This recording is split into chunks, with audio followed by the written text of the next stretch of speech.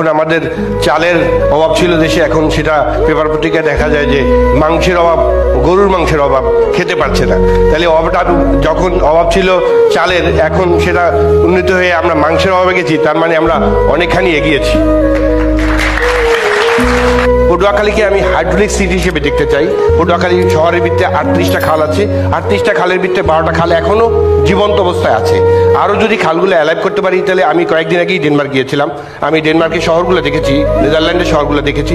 যে খুবই excellent hydraulic city হিসাবে। তাদের সহযোগিতা পেলে এই শহরকে আমি সেই লেভেলে নিয়ে যেতে পারব। তা আমি আশা করি তারা আমাকে সহযোগিতা করুক। আমার বাড়ি কেন? যার বাড়ি বাজুক, আমি সেটা পরিষ্কার করে এই শহরকে হাইড্রোলিক সিটি করব। আমার কাছে প্রশ্ন রাখা হয়েছিল গ্রামের উন্নয়নের কথা। আমি মনে করি যে আমাদের রাজনৈতিক ধারা অব্যাহত থাকলে, মাননীয় প্রধানমন্ত্রী থাকলে, আপনি যে উন্নয়নের কথা বলতেছেন সেটা সাস্টেনেবল হবে। গ্রাম হবে শহর যে ধারাবাহিকতায়, পটুয়াখালীতে কিন্তু অলরেডি একটা প্রজেক্ট পাশ হয়েছে গ্রামকে আধুনিক করার জন্য, কিন্তু কমিউনিটি বেস গ্রাম করার জন্য, পটুয়াখালীতে অল্প দিনের ভিতরেই একটিকে আপনি দেখতে পারবেন, অন্তপক্ষে মাস দেড়েকের ভিতরে।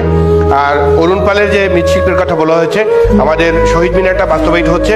শহীদ মিনারের পিছনে যেহেতু আমাদের বাংলা সাহিত্যের সাথে আমাদের এই মৃৎশিল্পটাও কিন্তু খুব ওতপ্রোতভাবে জড়িত, তাদের ওখানে একটা সুন্দর মার্কেট, তাদের জন্য চারটা পাঁচটা দোকান যেন হয়, সেই ব্যবস্থা ইনশাল্লাহ তাদের করে দেবো।